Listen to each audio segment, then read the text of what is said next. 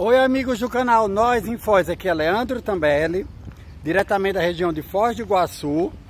E no vídeo de hoje eu quero falar com vocês que me perguntam sobre o cartão SUS.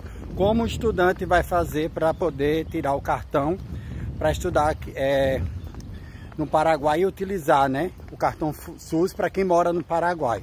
Aqui é Leandro Tambelli para o canal Nós em Foz, peço a todo mundo para deixar esse like, para compartilhar esse vídeo e chamar né, um amigo para o canal, que eu acho tão importante. A minha amiga a doutora Bruna, que está se informando no Paraguai, ela me informou que os estudantes, uma amiga dela precisou, que mora no Paraguai, utilizar o SUS aqui no Brasil, porque lá não tem esse serviço, né? Se você se machucar no Paraguai, vocês vão sentir na pele.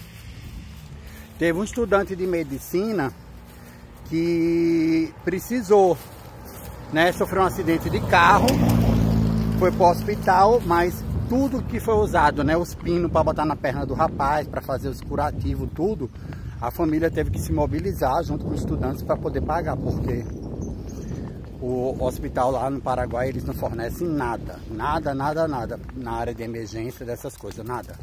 Então vocês estudantes que estão pretendendo morar na cidade de leste tem que ter esse cuidado, porque a saúde pública no Paraguai é muito difícil, porque também conheci uma moça, né, que tem um sofreu um acidente, né, uma paraguaia, precisou botar uns pinos ela disse que cada pino no braço foi 1 milhão e 500 guarani. Acho que é aproximadamente 600 reais cada parafuso. E disse que ela precisava de três, mas ela só tinha dinheiro para pagar um. Aí ficou com o braço, o braço todo torto. E também a cara toda quebrada, né? Ficou muito tempo internada, disse que gás, algodão, tudo isso tem que comprar os insumos no Brasil, porque eles não fornecem.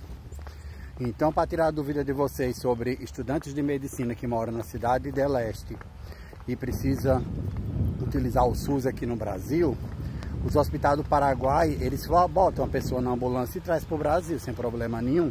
Mas para você utilizar o SUS aqui no Brasil, vocês vão ter que ir no consulado e dar entrada. O consulado fica perto do municipal, perto da prefeitura da cidade de Leste e você vai levar toda a sua documentação que você é estudando em medicina para entrar um processo para tirar um cartão do SUS para vocês poderem utilizar a Foz do Iguaçu, o serviço do SUS.